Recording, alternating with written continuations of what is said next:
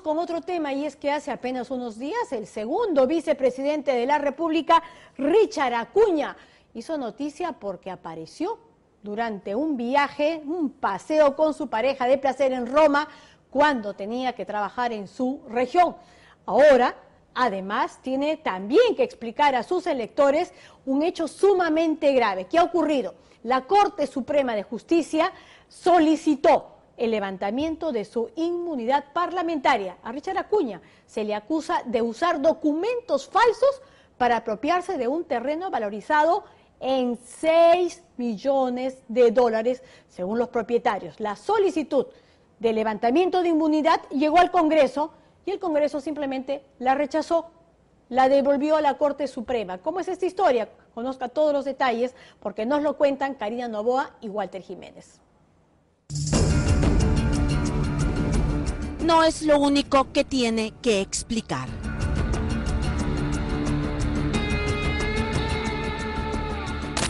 Solicitud de levantamiento de inmunidad parlamentaria. ¿Los congresistas quieren blindar a Richard Acuña? ¿Otorongo no come otorongo? Richard Acuña, el heredero de César Acuña, no concita la atención por su trabajo como congresista por las leyes que impulsa o por su destreza política. La población sabe muy bien del trabajo que realizo en mi ciudad. Primero, un viaje de diversión, en plena semana de representación que no puede explicar. Y ahora, nuevos y serios cuestionamientos. Un pedido, hasta hoy poco conocido, en contra de este congresista de la República, con una justificación que tampoco cuadra.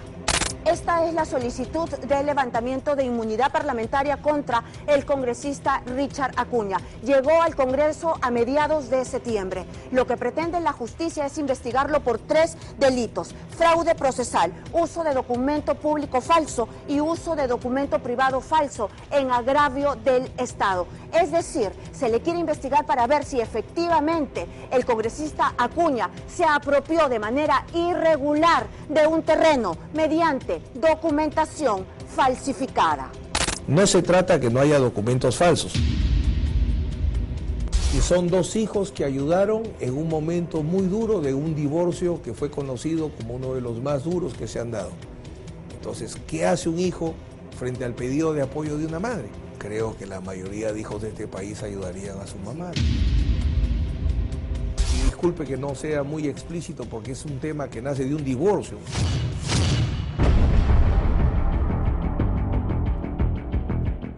Una solicitud de levantamiento de inmunidad parlamentaria contra este legislador acusado de usar documentos falsificados para engordar su fortuna. Y la respuesta del Congreso de la República, no admitir la solicitud y devolverla a la Corte Suprema por fallas en la numeración del expediente. La Corte Suprema ya envió la solicitud de levantamiento de inmunidad parlamentaria al Congreso. Sin embargo, el Congreso lo ha devuelto. Un procedimiento que es cortísimo ha sido remitido nuevamente por algo sencillo. Se ha cuestionado un tema de foliación, algo tan trivial cuando lo que se está investigando es un tema de un delito. Panorama denunció estas sospechosas compras hace un año. Al congresista Richard Acuña, a su hermana y a su madre se les acusa de haberse apropiado de 20 mil metros cuadrados aquí en Trujillo. Miren ustedes certificados presuntamente falsos con los que Richard Acuña y su hermana, beneficiarios de la enorme fortuna de su padre, acreditaron que vivieron en una humilde chacra de pepino, repollo y coliflor en Trujillo para quedarse irregularmente con este terreno. Richard Acuña no le ha mentido a cualquier persona.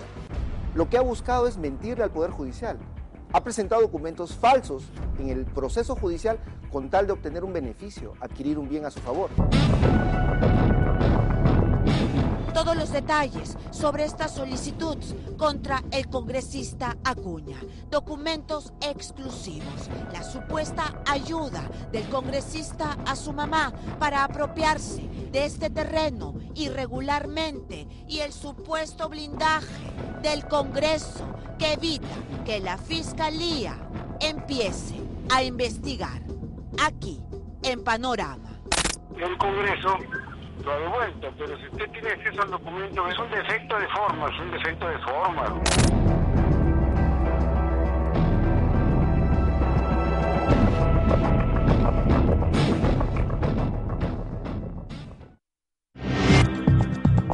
Richard Acuña es el segundo vicepresidente del Congreso de la República. Es uno de los legisladores con más apoyo en Alianza para el Progreso, la agrupación política fundada por su padre.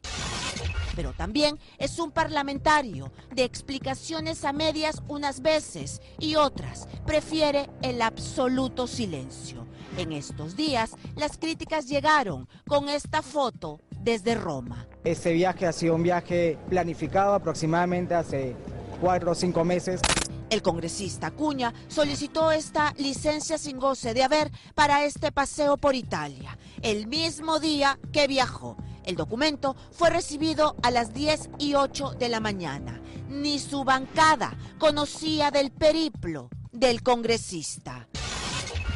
Los tiempos parecen que no cuadran. Tampoco cuadran las explicaciones que le debe al país ahora Richard Acuña por el pedido de levantamiento de su inmunidad parlamentaria debido a las graves acusaciones contra él en Trujillo por apropiarse de un terreno con certificados de posesión y minutas de transferencia presuntamente fraudulentas, cuando ya era congresista de la República el 2012 la inmunidad parlamentaria no puede conllevar o, convertirse en impunidad. Estos documentos se muestran por primera vez y señalan el camino transitado por este pedido que el Congreso acaba de devolver el 20 de septiembre, hace solo medio mes. Los congresistas quieren blindar a Richard Acuña. ¿Otorongo no come otorongo?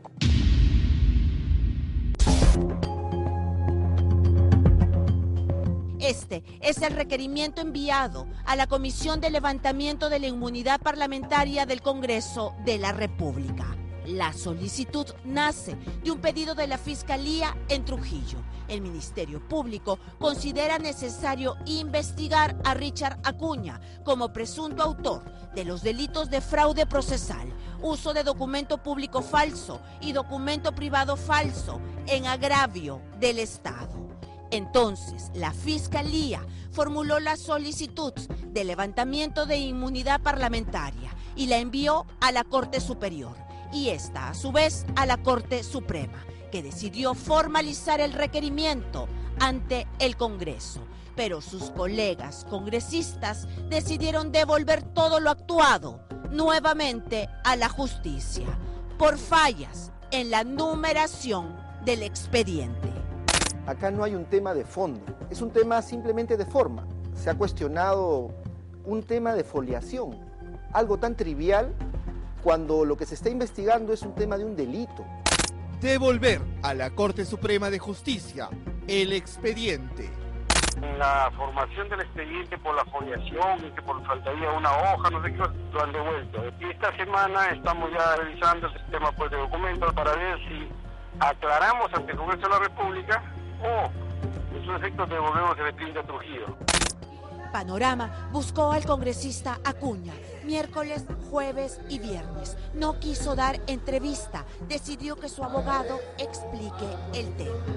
Tampoco se trata de levantar la inmunidad por gusto, ¿no? Se está haciendo, como le repito, son las aclaraciones del caso. La madre, para proteger su patrimonio, le pide a los hijos que colaboren con ellos, pero este tipo de cosas se está aclarando y confiamos que no haya finalmente necesidad de levantar la inmunidad. Veamos de qué está acusado Richard Acuña y los documentos falsos que se usaron. ¿Cuándo empieza esto? ¿Ustedes qué es lo que detectan y cómo lo detectan? Inmobiliaria San Vicente, propietaria de, de gran cantidad de bienes en la ciudad de Trujillo, eh, empieza a pedir a través de los procesos de reivindicación recuperar sus bienes. En uno de ellos, los posesionarios ilegítimos de dichos bienes eh, empiezan a, a, transferir a terceras personas. Y ahí es donde aparece el congresista en el 2012 ingresando documentación, oponiéndose a un lanzamiento. Es el momento el año 2012 que aparecieron en escena Richard Acuña y su hermana Kelly Acuña según el pedido de levantamiento de inmunidad. La inmobiliaria San Vicente había iniciado una serie de juicios para recuperar sus terrenos y lanzar a los invasores. Desde el año 2000 tenía un proceso contra el posesionario ilegal de este terreno. San Vicente ganó el juicio. La justicia determinó 12 años después que el invasor salga del lugar. Pero los hermanos Acuña se opusieron al lanzamiento. Aparece él con su hermana, presentan documentos diciendo, señor juez, no puede proceder a, reivindicar este bien y presentan ciertos documentos. Dicen, yo estoy poseyendo hace años, tengo eh, cierto derecho que me permite, que impediría que ustedes puedan desalojar.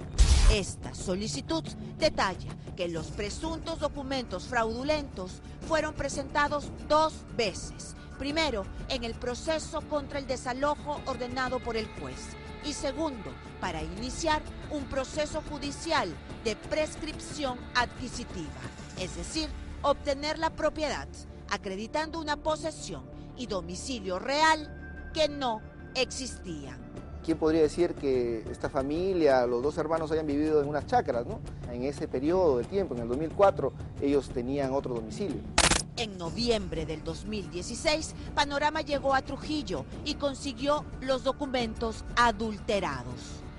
Este es el escrito que presenta Hernán Suárez Santa Cruz, que es el apoderado de Richard Frank Acuña Núñez y de Kelly Rosalín Acuña. Presentan un documento donde decían que eran posesionarios desde el año 2004 ese documento. Este es uno este de es los un documentos. certificado domiciliario. Domiciliario. Entonces aquí dice que domiciliario y de posesión. Richard Acuña y Kelly Acuña son posesionarios del predio y es de fecha 21 de noviembre del 2004. 2004. Los Acuña presentaron ante el Poder Judicial este certificado domiciliario.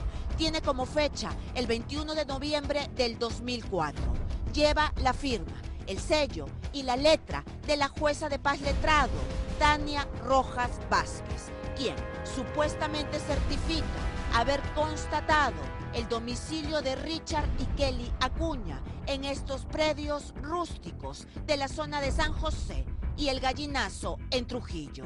Los hermanos más acaudalados de Trujillo viviendo, según el documento, en una zona pobre de la ciudad en precaria y reducida vivienda de reciente construcción, según se detalla en esta solicitud rechazada por el Congreso. La entonces jueza de paz letrado ha dicho ante la Fiscalía que ese documento es falso, que no era jueza de paz letrado en noviembre del 2004. No, en ningún momento he expedido este documento reconoce su firma y los sellos que aparecen en el documento? No es mi firma ni los sellos. Corresponden a los usados durante el periodo que ejercí el cargo. ¿Conoce a Richard Acuña? No lo conozco. Este requerimiento de la justicia detalla aún más. Dice que resulta falso lo señalado en las constancias que éstas se habrían fabricado mucho después del año 2004. Las pruebas, inspecciones judiciales posteriores a ese año. Esta inspección se realizó el 6 de diciembre del año 2005. Un perito nombrado por el juzgado no encontró en posesión ni a Richard Acuña ni a su hermana. Este es un informe técnico también del juzgado de fecha 31 de marzo del 2006.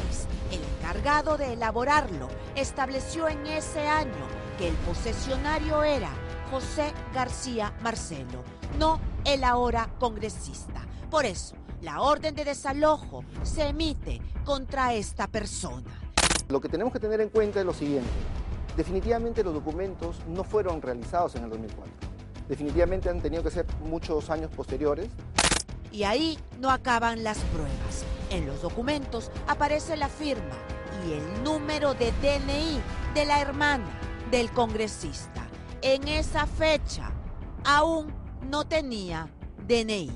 Y en el caso de, de la hermana, la señorita... Mucho menor, era, era una chica que se iba a la playa en ese tiempo, tranquilo. Era menor de edad, pero firma con un DNI. Sí, o sea, es evidente que hay documentos que se tienen que explicar. Yo no voy a discutir que hay documentos que tienen serios cuestionamientos por parte de jueces. Eso no está en discusión. Lo que nosotros discutimos es, o tratamos de establecer es, quién fue el responsable de la elaboración de esos documentos. Entonces, el uso de documentos fraguados ni el abogado lo puede negar.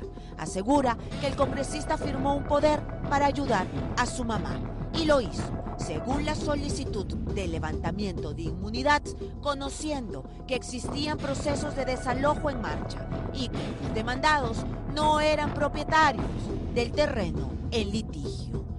Quien realiza toda la documentación y que la trabaja es un apoderado. O sea, la, la madre del congresista Acuña contrata a un asesor legal y además lo nombra apoderado. O sea, no solo actúa como abogado, sino actúa como apoderado.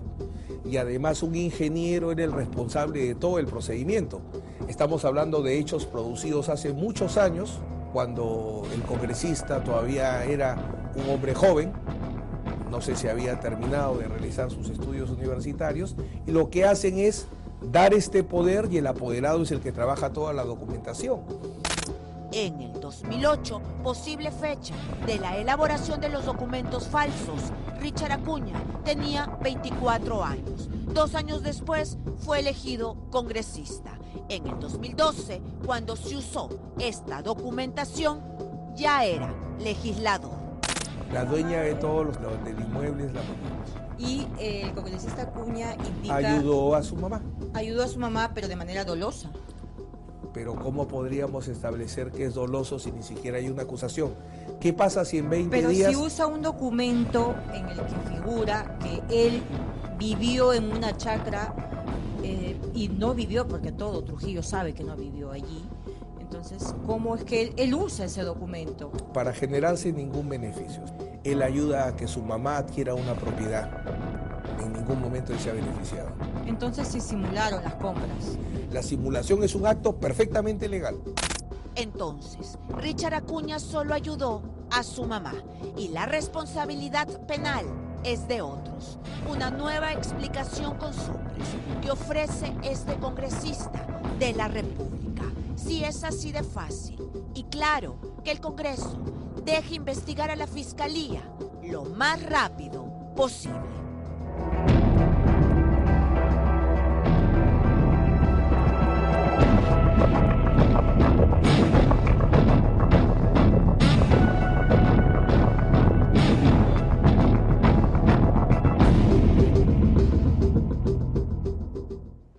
Inmunidad no debe significar por ningún lado, no debe ser interpretado jamás como impunidad y así de claro, y de una vez por todas debería de tenerlo el Congreso cuando vuelva a presentarse esta solicitud pidiendo nuevamente que esta se levante. Disculpen que estoy un poco mal de la garganta porque en el caso de Richard Acuña tiene que responder ante la justicia y aclarar cómo le corresponde a todo peruano.